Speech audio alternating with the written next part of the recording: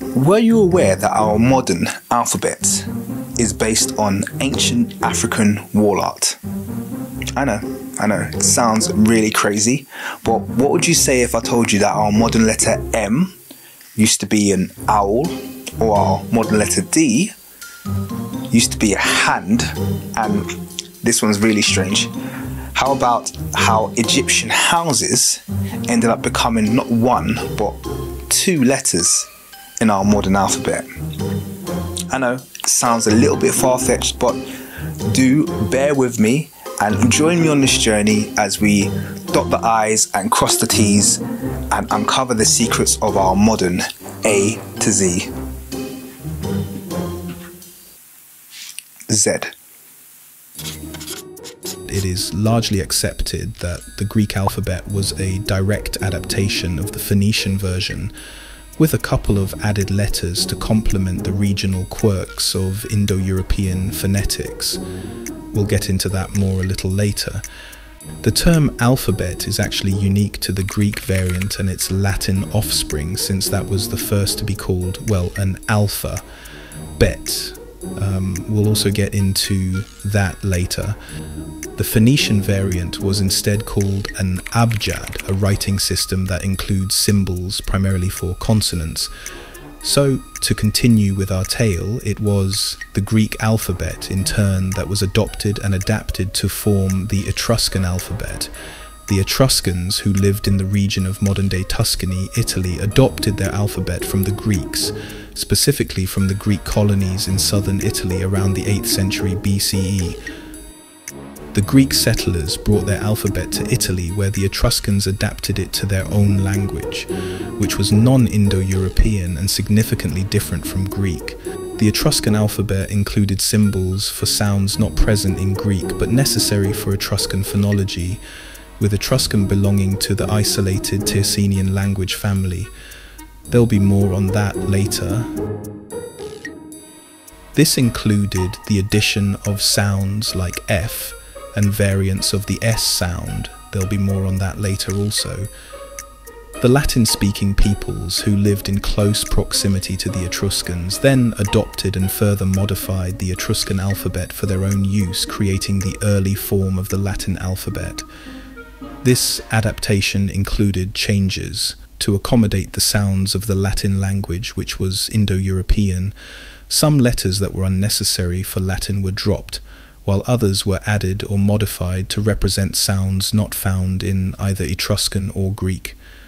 It is this same database of letters that has evolved over the centuries into the modern 26 letter alphabet, today used in English and most other European languages. In fact, it's the most widely used alphabet in the modern world. The end. Well, it could be other than the fact this version of the story misses out on some minor details. The main one being that without Africa, none of these scripts would even exist today, certainly not in the form that we're accustomed to. In fact, I would go as far as to say all of these scripts have a recent and traceable origin back to the African continent.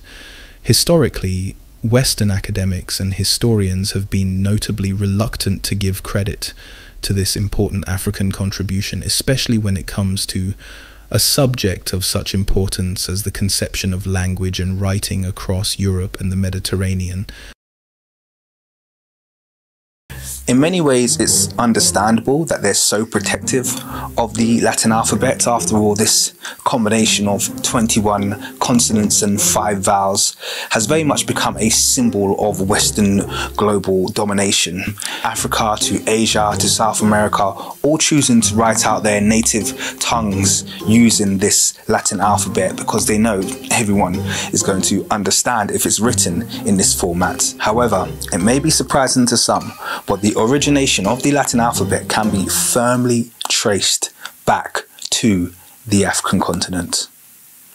To begin, let's gain a better understanding of the Nile Valley and how, at least 7,000 years ago, this African collective began to form the first known phonetic lexicon, which culminated in ancient Egyptian Medu Neter, the language of the gods, more commonly known as hieroglyphics. Now, the ancient Egyptian script actually consists of three iterations, these being hieroglyphic, which is the pictographic script we're all familiar with, and which, before the discovery of the Rosetta Stone, historians considered to be nothing more than primitive African wall art. Next came hieratic, which was a shorthand version of the hieroglyphic pictographic script. Its conception and use were almost simultaneous with the invention and increasing popularity of another important breakthrough, papyrus. Given the increasing ability and need to keep documents as scripts due to the complex socio-political arrangements that were continuing to form in Kemet, the scribes found ways to abbreviate the written art form of hieroglyphics, in order to produce transcripts faster. The third iteration of the ancient Egyptian written language is demotic. Demotic is even more simplified and abstract than hieratic, with a reduction in the number of strokes per symbol.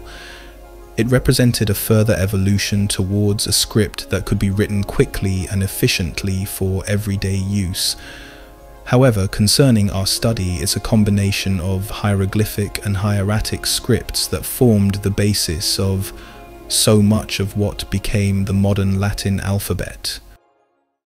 Now, the Egyptian pictorial language actually consists of three main groups. The first type of hieroglyphic or pictograph that you'll come across is a logogram. Now, a logogram essentially is a picture or a graphic that symbolizes a thing. So, you know, you might have a picture of a bird that is that particular bird or an animal or a building, and you're literally having pictures of things. Now, the next type is an ideograph. Now, these ones are incredibly common. This is where you are actually portraying or displaying some kind of a concept. So you can have things like this hippo apt actually gave us the concept of heavies. Now, the last group that we have are phonetics. and phonetics are essentially broken up into two groups, alphabetics and syllabics. Alphabetics, as you can imagine, work in a similar way as the alphabet. So we have this little um, symbol here that gives us the letter P, and here's the name for Ptolemy, or at least I should say Ptolemys, who was one of the first Greek rulers in ancient Egypt. So we can see his name here, P T O. Uh, yeah, you get the picture. But also we can have syllabics, which give us more like sounds. So for instance, we have this ox's head, which gives us the sound ah. And actually, that's probably a really good way to start.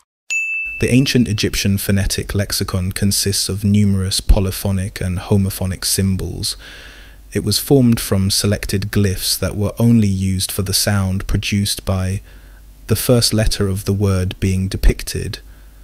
We know that from words like mulok, the ancient Egyptian word for the African spotted eagle owl. As a result, the same creature is used for the symbol representing M. However, some of these alphabetics origins are unknown, and this will become very relevant later. So here's an A to Z walkthrough, letter by letter or symbol by symbol, on how these ancient Egyptian symbols have indirectly influenced the Phoenician language and other Aegean languages.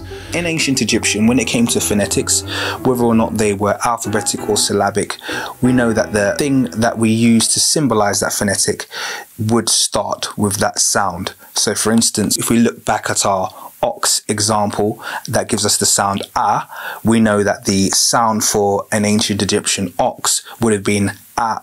However, when it comes to the Phoenicians who took on this letter, their name for a ox is Aleph. So the Phoenicians took on Aleph or ah, and they converted our image of an ox to this, which then was turned to this by the Greeks we get our modern letter B from the Phoenician symbol bet, which means house. So, after a few minor aesthetic variations, you can see how we got to the Latin B. And if you're paying attention, there you have the first two letters of the Greek alphabet or the Phoenician Aleph Beth, depending on which side of the sea you hail from. Now, on an important side note, the symbol for Bet was taken directly from the Egyptian symbol Het, which also meant house in the ancient Egyptian language. However, since the Egyptians said Het in line with their protocol, this phonetic in Egyptian gave you the h sound rather than the ba. But we're not done with het there. In fact, this same Egyptian word also contributed to another important letter. I wonder if you can guess which it is. Now, the story of D is actually a really interesting one because the D has been likened to the Phoenician door and fish, but none of these glyphs really fit what eventually became the letter D. However, if we look at the ancient Egyptian hand symbol, which actually does give us the sound D, it doesn't look much like a D now, but if we look at the hieratic version of this, you can easily see how this symbol, once turned upwards, eventually became the letter D. Now, the letter C, on first glance, seems to have a rather more mundane origin than other letters, allegedly originating as this simple Egyptian bowl symbol turned on its side and with its handle lost. Egyptians, Phoenicians, and Etruscans bore the hallmarks of common phonetic origins, in that they all had multiple variations for the ka sound. However, it suddenly becomes interesting again when we look at the letter G.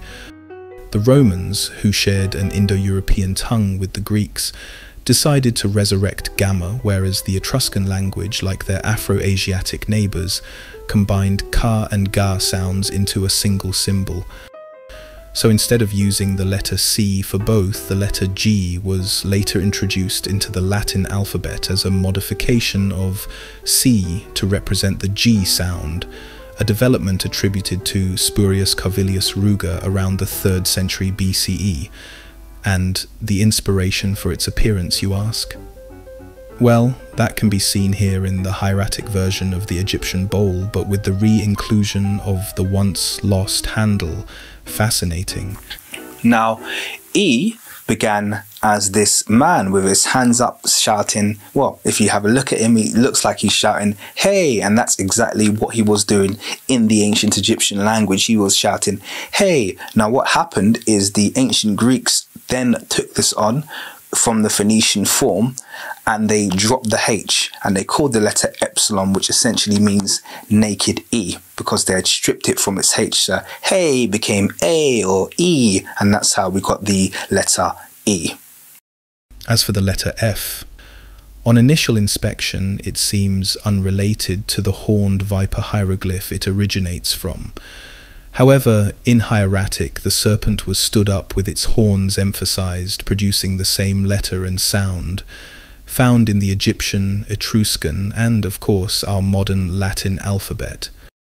Interestingly, the same Cerastes hieroglyph also became the basis for the Phoenician Waw, which was modified to become the Greek upsilon, the parent of several letters, of course, including Y. Etruscans, like the Afroasiatic speakers, used a single symbol for all of the characters in this Upsilon family, while the Latin speakers fragmented it systematically to represent both the vowel, semivowels, and the consonant sounds of u, wu, u, and va, leading to the additions of u, v, w, and y in the Latin script. Now, the letter H is really interesting. Do you remember way back when we spoke about the letter B and the fact that it came from the ancient Egyptian Het, which became Bet in Phoenician. Well, we're back at Het again. But Het, interestingly enough, has two symbols in ancient Egyptian because this is once again the homophonic nature of the language. So Het, when it's used in its alphabetic form, looks like this, which looks like the Phoenician Bet. But het, when it's used in its ideographic form, looks like this. It looks like a bounding box. It doesn't have that little opening, which makes it the sound or the syllabic letter. So this het, which we can see in words like het heru, we can see all of these words have this bounding box around it. Now, all that happened is when this transferred to the Phoenicians, the Phoenicians used the same word, but not for house anymore, but they use it for a courtyard wall and they simply added an internal wall to this courtyard wall to get their het, which, as you can see, they knocked off the bottom and the top, and that became the letter H. But both the letter B and H have their origins in the ancient Egyptian word het. Now, K is another letter that has a very interesting origin. If we look at the ancient Egyptian hieroglyph for the K sound, there are many different ways of getting the K sound. We get it from this, this, this, this, that's that polyphonic nature of ancient Egyptian. So homophonic. That's the homophonic nature of the ancient Egyptian language playing around with us again. However, if we look at this symbol, this tent symbol, we can see something that looks very familiar and very similar to modern K. And actually, if we transfer over to the Phoenician hand symbol, I think it's deliberately in line with this ancient Egyptian tent symbol. But either way, that's our origin for the letter K. L descends from a laying lion for those that enjoy an alliterative approach. The hieratic version formed this squiggly line which lost its head and tail with the Phoenicians, this happened before it was finally straightened out by the Etruscans and Romans. Now, M has always been my favourite ancient Egyptian symbol, and that's likely because it was the first one I learnt, and it was likely the first one I learnt because it was very easy to learn. Because if you look at this symbol of an owl, it actually has an M on its brow ridge, and this is very, very consistent throughout all ancient Egyptian hieroglyphics. So, this symbol of an owl gives us the letter M. And if we look at the hieratic version of the letter M, you can see it's simply they've kept that brow ridge, but they've turned it slightly on its side. So, we have that letter M. Now, the ancient Egyptian symbol for the letter N is this squiggly line that symbolizes water, which ironically is what the Phoenicians used for their letter M. But either which way, we only need a section of this squiggly water line to be able to build our modern day N, which is exactly what was handed to the Phoenicians and then to the Greeks. Now, the letter S is really interesting because we actually have two symbols for the letter S in both languages, and both seem to have been preserved and both seem to be related. The Kemetic bolt was reflected in the Phoenician Samek pillar, while the Kemetic fish hook retained its name and form in the Phoenician Sadeh. The Egyptians, Phoenicians, and Etruscan languages all possessed a variety of sibilant or hissing sounds that were reflected in their scripts. This resulted in the use of multiple symbols for these variations in their respective alphabets. The Romans only had one S sound, and so collated and simplified these into the single letter S. Now, the letter I, which later became the letter J, um, which was added much, much later, descends from the ancient Egyptian forearm, and it's exactly the same thing in the Phoenician language as well. So here's your letter that eventually became the letter I. Now, to wrap this up, the letter P descends from the Semitic P, which became the Greek pi. O descended from the Semitic ayin, which was based on the Kemetic air symbol for pupil. This became Omicron in the Greek alphabet. T came from the Semitic crossmark or Tau Phoenician cross, which gave birth to Teth and the Greek theta. X was a Greek addition called Chi, and well, I think that's it, apart from one last letter. And finally, probably my favorite letter is the letter Z because this one is one that has secret origins once again within the ancient Egyptian script. Now, the letter Z, you can see how it descends from the Phoenician letter, which is almost exactly the same. You just got to kind of skew this middle line over slightly and you have the modern letter Z. But what I'm interested to know is where they got this letter Zayin from.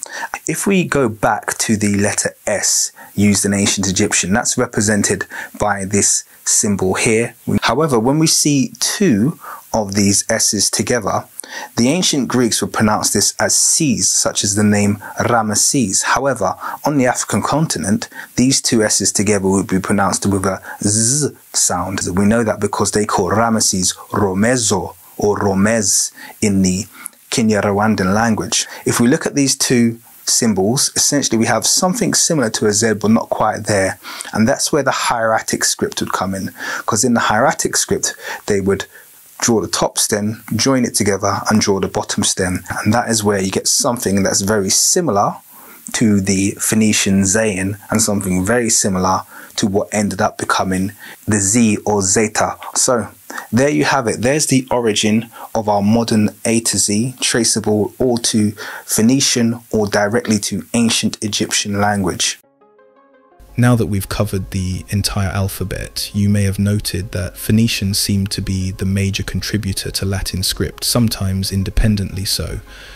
What isn't discussed is the recent African origin of the Mesopotamian and Phoenician languages. It's important to note the Mesopotamian and Phoenician languages were part of the Semitic branch of the Afro-Asiatic or Proto-Afrasian language group, an African linguistic group with its roots deep within Nilo-Saharan Africa. The other branches of Afro-Asiatic are Berber, Chadic, Cushitic, Omotic, and of course ancient Egyptian. As you can see, all African languages, according to expert linguist Christopher Ehret, the birth of the Semitic branch itself can be traced back to around six to seven thousand years ago, not long before the birth of Mesopotamian civilization itself. So, as you can see, aside from a handful of letters modified by the Romans, a large bulk of the script we call the Latin script has identifiable and traceable origins to the African continent, this provides a wonderful continuity of language and thought that, through the Afro-Asiatic phylum, has permeated throughout the modern world to, in many ways, dictate our modern spoken and written languages. Imagine for a moment, if you will, that the entire Western world was aware that their written script was owed to and shared a common ancestor with its roots in Africa. In my view, this doesn't diminish the origins of Europe in any way, but rather it gives a nod to the beauty of human continuity and offers mankind an intriguing point of origination. It highlights the social adhesion that must have existed at some point for these ideas to have been diffused from one nation to the next. In many ways, it's warming to note how very closely we're all linked as members of the human race. Now finally, it's important to note here that no attempt is being made to suggest that the Indo-European languages of modern or ancient Greece or even Rome belong to the Afro-Asiatic language family inasmuch as Yoruba written in Latin script doesn't suddenly become an Indo-European or Afro-Asiatic language, but it does give us a very clear indication of the age and direction of influence in the region.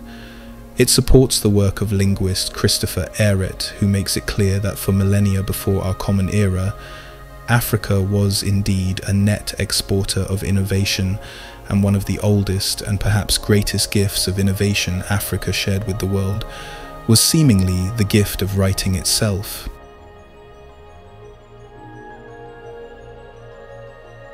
Thank you for joining me on the King's Monologue. If you enjoyed the content, do subscribe as I have lots more like it. Thank you to my patron supporters and production team. If you're interested in joining us or supporting my research, do sign up using the Patreon link. And obviously, share this with someone who'd find it interesting